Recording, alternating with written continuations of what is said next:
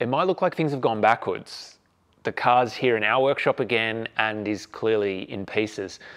But it's kind of the nature of what we're doing where we have to trial fit the bodywork, take it to electrical engineering, test where the prototype battery boxes are going to go, the other electrical components, where we've got to drill holes, and do all of that before we do the final assembly of the mechanical components and do all the final paintwork. Juniper looked pretty good already. And that was one of the reasons that we bought her was because she looked great in photos and we could drive back from Queensland, take all these photos. But we knew there was a bunch of parts that we needed to respray. Once you get closer, of course, you realize that, oh, well, I definitely need to respray this bit or this part of this panel. And it's actually easier and faster and better just to sand the whole thing back and respray the whole panel rather than trying to be selective and mask off things. So what's ended up happening is that we have resprayed everything. The thing we've always wanted to do with Jaunt was to distribute the manufacturing, knowing that the skills and experience to work on these vehicles and to do, you know, work on modern vehicles at all levels is all across Australia. That we wanted to, you know, I guess take advantage of that, but also celebrate that and make sure that the people whose, you know, skills, experience again, but also love and effort and passion for these kinds of things and these kinds of trades was was built into every jaunt. Now, you can't necessarily see this little panel that's on top of the the gearbox and you know the seat will be here. But if you look for it, you'll be able to tell, and there'll be a little history around each vehicle. And so that includes things like the guys here who've worked on rebuilding the chassis and the, the drivetrain making sure that we, you know, combine this this idea of like the best of modern manufacturing and sort of, you know, old world automotive charm together, we can instead of having a stamped out panel, we can laser etch a panel that goes on here and forever celebrates that these guys did this work uh, here in Coburg a few months ago. One of the things with aluminium bodywork is that out of the factory, they never really painted the bits you didn't see. They didn't need to. They'd oxidize a little bit, but they weren't going to corrode. So you had panels that were painted, you know, green, for example, on here, but really just left to their own devices on the inside. What happens though is that this isn't really a problem to us. We could leave it uh, raw metal, but we did want to soundproof it in a way. And when we talk about that, people um, then ask the question, well, aren't you making a silent car? And kind of, well, yeah, we're removing the petrol motor, and that's the biggest source of noise.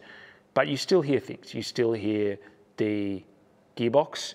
There's a lot of gears, and there's a lot of whine from that.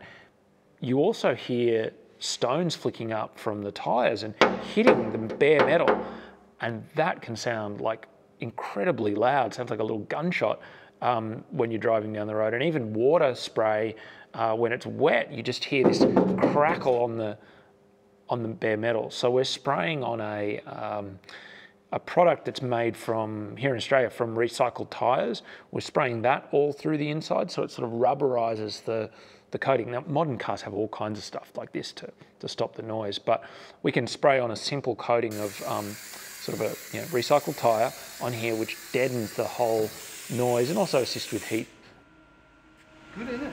Isn't it good?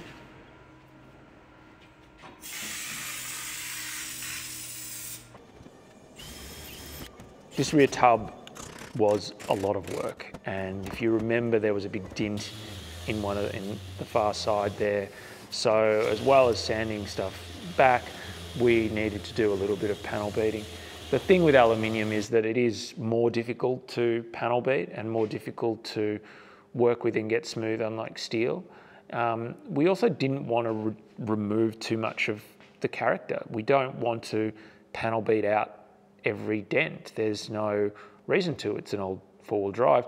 And all those little dents have a little story behind them. So we can create perfect paint over a history of knocks and dents. And also, you know, remove the fact that, remove any filler. We're not trying to disguise. This had, in some cases, a centimetre of filler through here just to try and get it smooth. And you can chase that forever because aluminium panels always have a little bit of a wave in them, never quite flat. Um, well, they are now, but you know, in a modern car made out of aluminium. But in these old days with these flat sheets, you just never got this perfect straight thing. So, a bunch of rivets and a bunch of um, you know bending and a bunch of little brackets here and there to get it all straight again.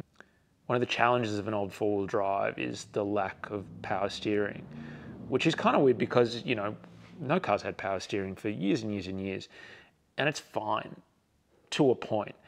It does require effort and it does require stamina to operate for long periods of time. And then the more that you add other features that increase safety or ability or utility, like bigger tires, wider tires, make it harder to steer, you know, particularly when stationary.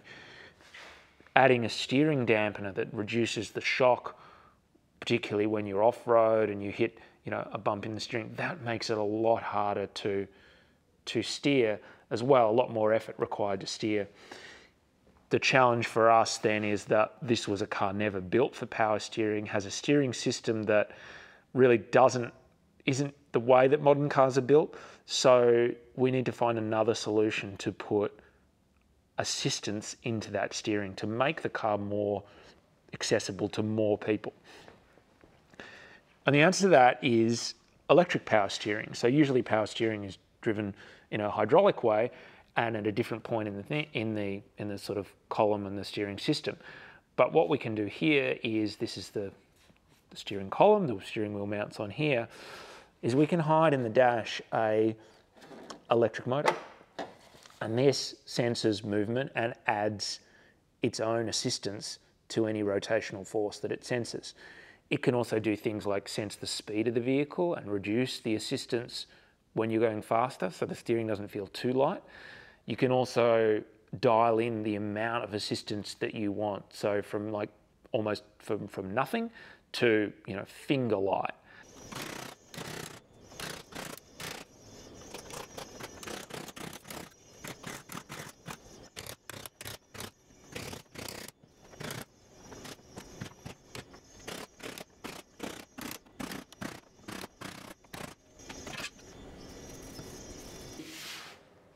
A choice we made was to put a new piece of aluminium on top of the original tub. The, there was bimetal corrosion where the steel had touched the aluminium and different things and had worn through. There were some big holes through this. So rather than patch each little piece, we just placed a whole sort of one mil sheet of aluminium. You can see there, there's a, uh, you know, the original sort of two mil plate and then a one mil plate on top uh, which we just riveted down to make a new new surface. And some other areas around here too, like these big holes that were cut to, this had dual fuel tanks and they cut big holes.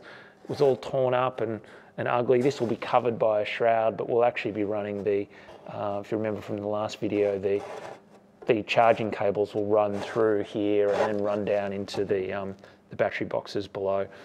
So this has just been covered with a, with a high fill, so like a, a, a, primer that, that does feel a little bit of imperfections and we just sand that back very lightly. This isn't a process of endless coats, but it is, you know, getting rid of the, you know, little dents and little scratches um, to create a, you know, a really nice finish that we can be proud of.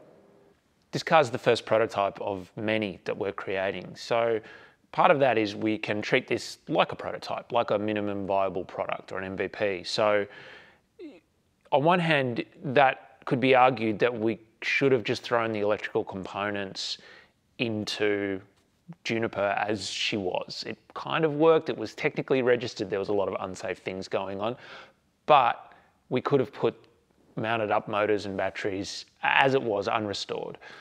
But it's not just an engineering test, it's an experience test in a sense. So it can't just, we know that electric motors can power a car. No one's doubting that. We're not inventing the new motor or any of those components. What we are inventing, as it were, is the way that that can all feel together and to make it something that feels approachable and accessible and desirable to the widest number of people.